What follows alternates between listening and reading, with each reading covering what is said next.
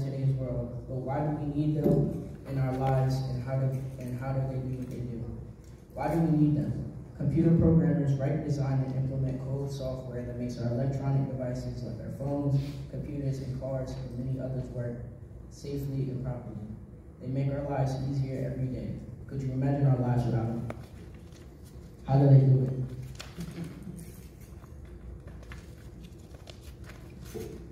Computer programmers have hundreds of languages that they use every day. For example, JavaScript, Java, JavaScript, Python, C++, and many more. I'm not shitty. It's all. They type them into scripts on their computer to generate physical actions like a robot or calculator or virtual actions like, a, like an animation or a death screen in a video game. What is coding? Coding is writing in words that computers can understand. They have to follow a and use syntax for computers to perform the actions.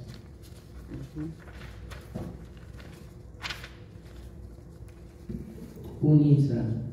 Everyone or over or almost every business needs computer programmers. They make most of our electronic things we use work. You know, you know your phone, computer, and car are all made by computer programmers, but that's not all.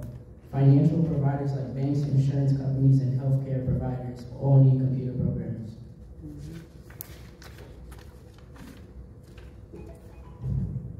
Schools even need computer programmers.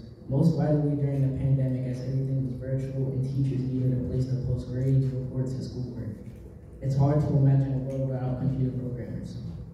How to become one. To become a computer programmer, it takes a lot of preparation. They typically need a bachelor's degree to get into the field. They specialize in several computer languages. You will most likely need a degree in computer and information technology. However,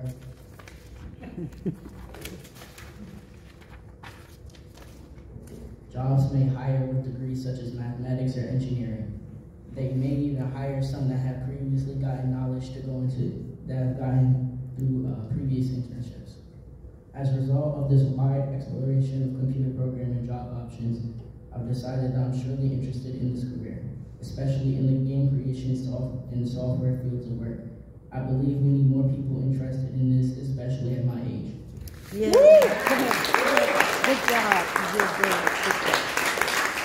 Agent the wire. Next up is Jeremiah. Oh,